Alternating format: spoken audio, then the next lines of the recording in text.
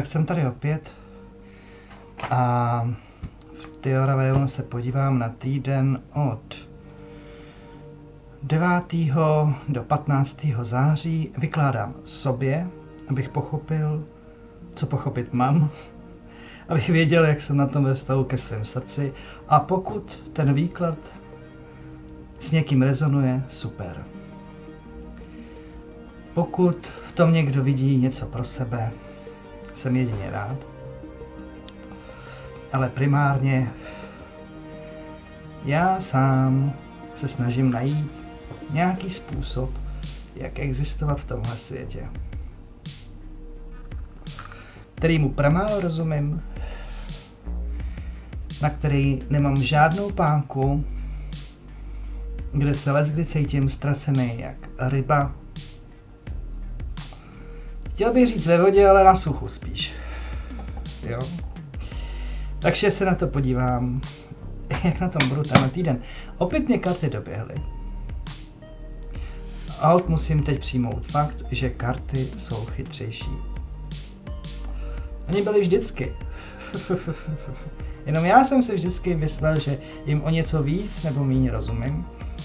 Teď jsem na tom v porozumění s kartama dost tristně. Jakože, ochu, ty jsi myslel, že nás znáš, no tak se na to podíváme. Tak. tak se na to teda podívám. Oh, bože.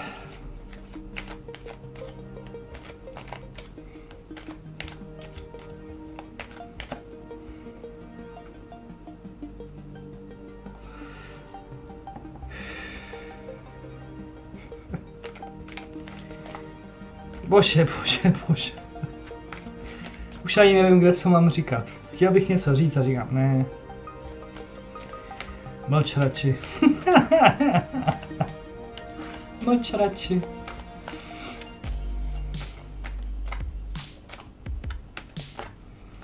Ježiši, co je? Na to, že mě bolí ruka, mě teda chcete, abych vás míchal.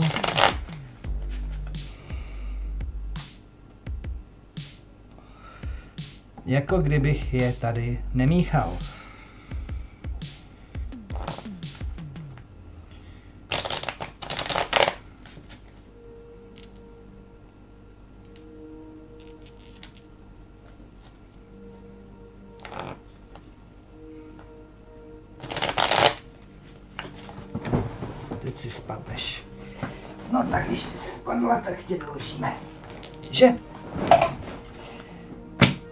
Aby se s nám dneska desítka kalichů.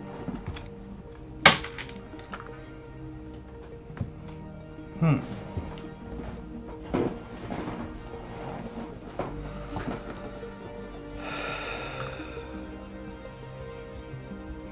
Hm.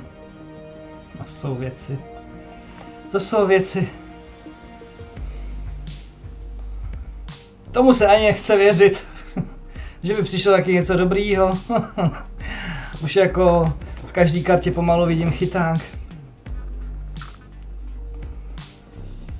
Nemusí to být ideální. Nic není ideální, ale vlastně tím je to ideální. Nemusí mít všechno pevné kontury, nemusí mít všechno jednolitou prostě strukturu. Může to být barevný, může to být rozbitý, může to být nedokonalý a přesto to může být naprosto skvělý. A není skvělý, když někdo mě může vzít za ruku, když se mě někdo dotkne, když mě někdo obejme. Není skvělý, když má někdo věci stejně jako já. Když je stejně barevný jako já, stejně rozbitý jako já, stejně úžasný jako já.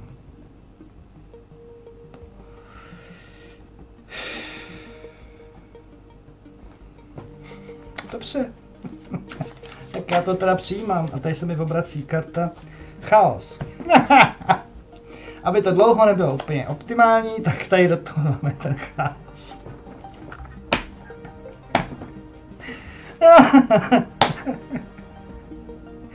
Já ho zažívám teď pořád. Ale pořád. Naprostý chaos. Bože můj. Princip nahoře, stromový. I když jsem v lese, tak zažívám chaos. Chce se po mně, abych chodil víc do lesa. Chodím. Chodím. Princip dole zkroucená perspektiva. Přesný, úplně to vidím. jak se to všechno kroutí, jak vůbec ničemu nerozumím. Říkám, no co, na co to vůbec koukám? Včera jsem si to dokonce maloval do sešitu a říkám, Kriste pane, vidím to, co vidím. Vzdálení chodci. Přesně jsem si maloval ty vzdálený chodce, říkám, ty vado, vidím vůbec, co vidím. A výsledek chaos a cítil jsem se úplně, úplně jak nějaký kaši prostě. Já jsem říkal, já vůbec nevím, co se děje. A přitom by člověk řekl, šel na pláž, šel se vykoupat a šel domů. Ale ten chaos. Ježíš Maria.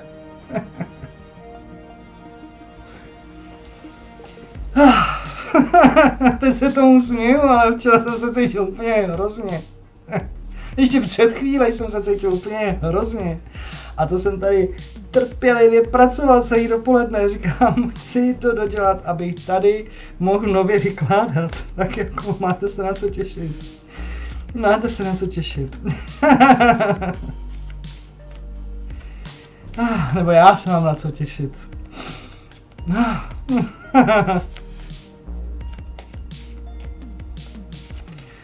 Bože můj, bože můj, bože můj. Dáda. bože. Proč zrovna dáda? No, třeba v téhle otázce se hrajou velkou roli dredy, stejně jako včera pro mě se hrály velkou roli dredy, čo žádný nemám teď jako.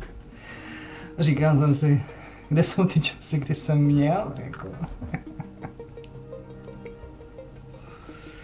Takže jo, velmi, velmi, velmi, velmi extravagantní zjev tady bude hrát nějakou roli. A taky ten fakt, že za extravagantním vzhledem může být velmi složitá struktura, jak udržet ten chaos jako takový kleci. A vlastně ty dready a ten extravagantní zjev je vlastně, co je taky ty prsty toho chaosu vystrčenýho ven. no, tak já už asi nepotřebuju, už ten chaos prostě šířím kolem sebe. no, tak jo. Tak jo. se jenom objeví, všichni utíkají.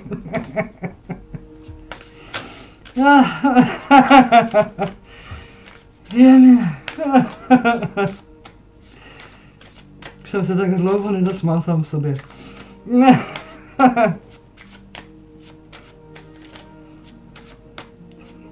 Co není možný.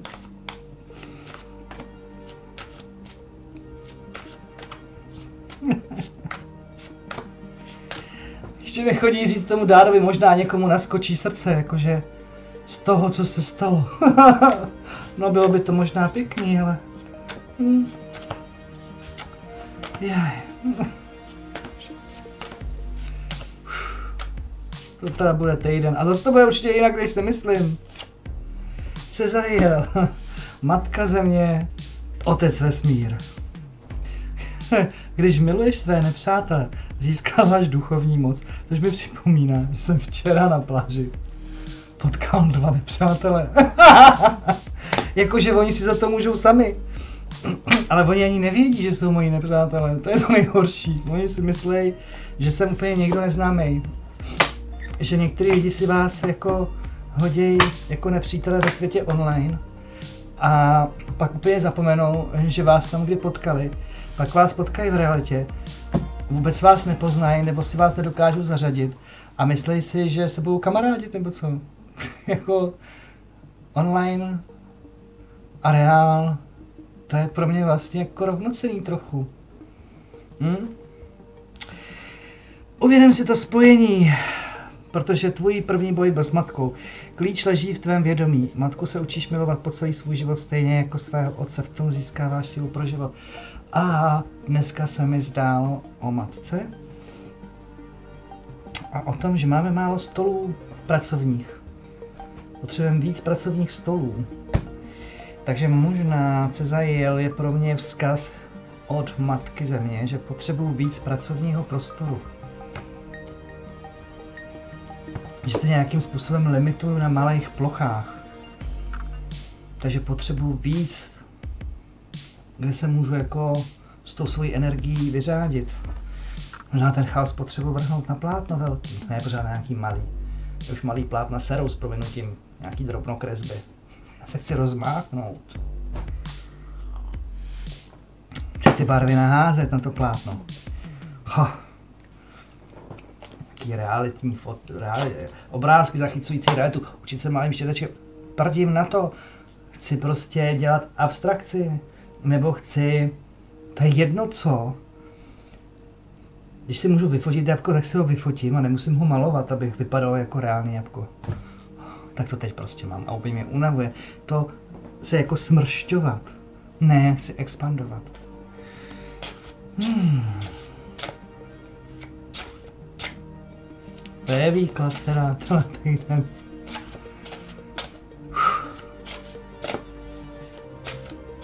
Už je ten smích přešel. Možná si někdo myslel, jako, že už je konečná. No možná jo. Možná jo, možná už je to konečná.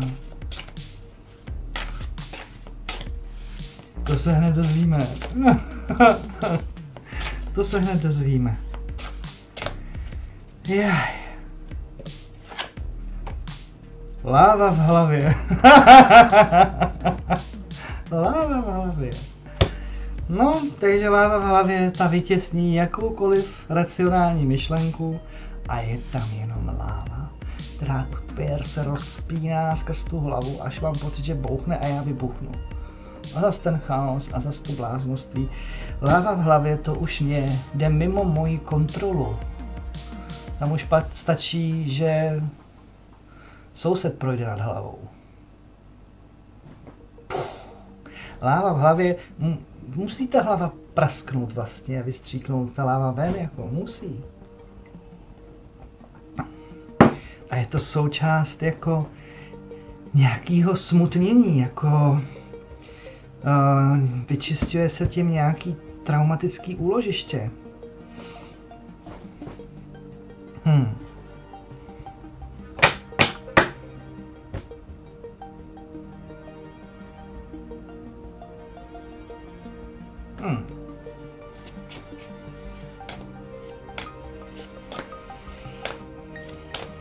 Zatím to vypadá na jeden velký chaos, který se tváří, že je všechno v pořádku, jako skrz tu úvodní kartu. Ale třeba jo, prostě... Třeba jo. Toka z Hyuga. Víc než znalosti, otevřeným srdcem a čistě jasnou myslí porazí a pokoří Jelena. Zaklepe na dveře a vejde dál. Prosadil se ve světě, v osobním životě, tvrdě pracoval na dosažení věcí a také byl zdvořilý a společenský. Aby se stal jeho známým, když už ne přítelem, skoro mi tam chodí říct, když už ne nepřítelem, musíš ukázat, kdo si a co umíš, jinak to nepůjde.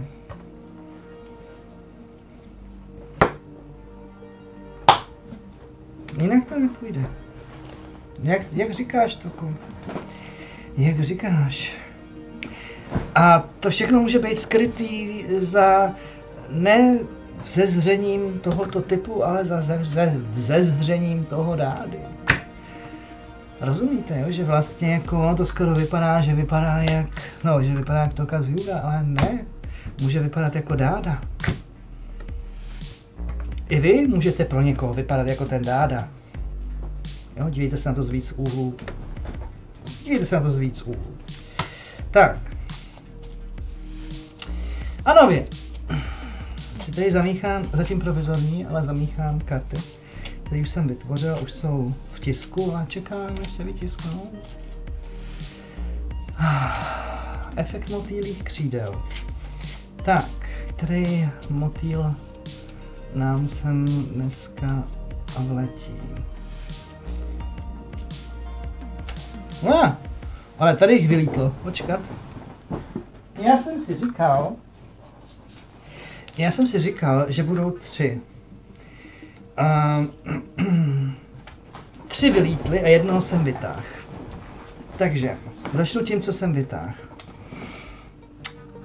Poezie, což mě vůbec neudivuje, protože jsem si říkal, že bych velmi rád, aby tady dneska tahle karta vlastně jako padla. Ale já si teď k tomu musím něco vzít.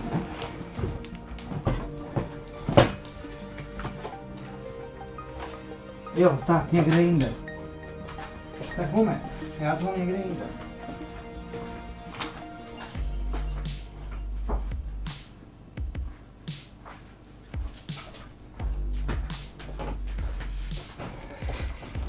Tak, už jsem zpátky. Tak, a máme tady poezii. A když jsem si přemýšlel nad imaginárním textem do toho bukletu, tak mi tam vyšla vlastně tato báseň. Jo, ještě tady mám ten chaos někde. Um, tady jsem se snažil zakreslit tu perspektivu. Skroucenou. Nicméně poezie. A nezlobte se, že to budu koumat, protože jsem vůbec nedbal na to, že bych to měl někde číst, takže jsem si to psal, jako kdybych už to nikdy po sobě číst neměl. Poezie. Takže v této kartě pomyslný text do knihy. Chtěl bych být stará, spokojená paní, co čistí si nechty na lavičce pod trojklaným stromem. Na červeném ručníku s šaty přehozenými přes větev se sandály lenivě loženými u nohy teď musím hodně přemýšlet. Se stínem listů na stehnech a s brýlemi se šňůrkou volně přes rameno.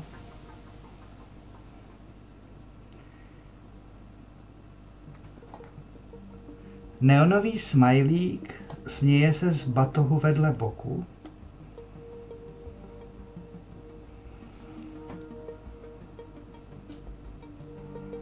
Prsy, co visí po bílém těle. Tak. A proč tahle báseň? Já tomu říkám, že to je vlastně báseň po dlouhé době, co jsem napsal, po nějakou, vůbec nějakou, po strašně dlouhé době. A vzešla jenom z pozorování. A vzešla jenom z pozorování. A mně chodilo, že Velmi důležitou částí efektu motýlých křídel je naše schopnost pozorovat, pojmenovat, sepsat do formy, kterou cítím ve svém srdci. A tím, že to udělám, se něco ve vnějším světě změní.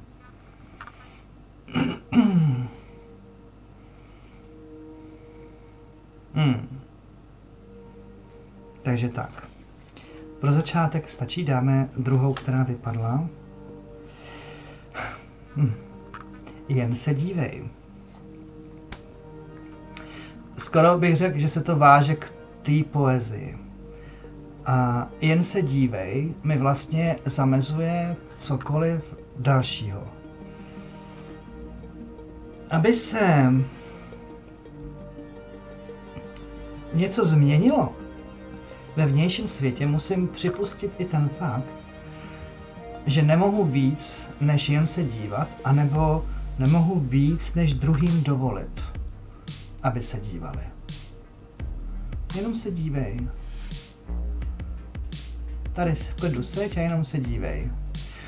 Úplně si dokážu představit někoho, jak stojí u válu v kuchyni a něco tam dělá, je v meditaci, někdo přijde a chce mu do té meditace skočit, že mu pomůže. Přičemž je lákaný tou meditací, kterou vytvořil, která je pro toho druhýho lákavá. A já jen se dívej. A když se já sám s tou energií potkám,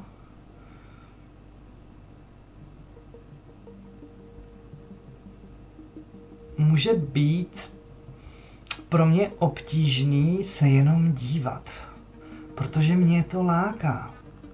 A přesto se mám jenom dívat.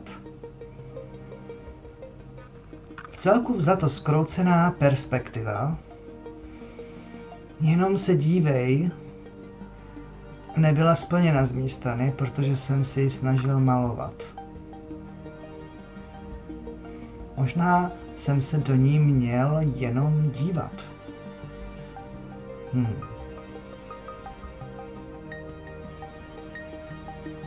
Jen se dívej. Další. Tvrdá pravda je.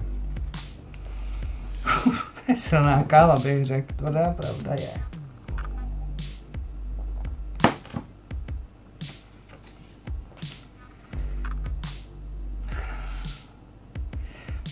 Tvrdá pravda je něco, co druhý může použít, pokud nebudu respektovat,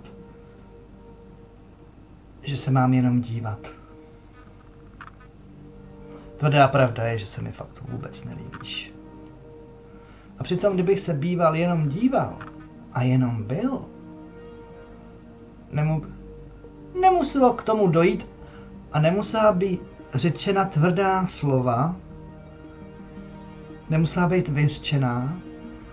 A konec konců tvrdá pravda je, ještě neznamená nutně, že tomu tak je. Ona byla vyřčená jenom proto, že jsem se nedíval. Hmm. A Poslední tu máme Nemusím se ti líbit. O jaký, jak se to nám krásně tady se skládalo. Protože tvrdá pravda je, že já se mu nemusím líbit. Nemusím se ti líbit, stejně jako ty se nemusíš líbit mě. Ovšem tady je to vyloženě v konfrontaci s tou tvrdá pravda je, nelíbíš se mi. A tvrdá pravda taky ale je, že se ti nemusím líbit. Oh. Teď si ještě říkám, že tomuhle se můžu vyhnout, když se budu věnovat poezii. I když prostě najdu něco jiného k pozorování, než očividně někoho, kdo je podle karet mimo moji ligu a zároveň já jsem mimo jeho. Dává vám to smysl? Jo? Hm. A Tokas Hyuga, dáda, může být zrovna ta energie, ta energie, která se točí zrovna tak kolem těchto uh, motýlů, řekněme. Přičemž zajímavý je, že připustím-li si, že se ti nemusím líbit, když někdo vysloví svou tvrdou pravdu, když se tyhle dvě energie setkají, tak se opravdu něco může změnit, zvlášť pokud se to děje ve vašem mikrokosmu. Jako je třeba pláž, nějaká uzavřená, kde se něco děje v nějakém mikrokosmu. A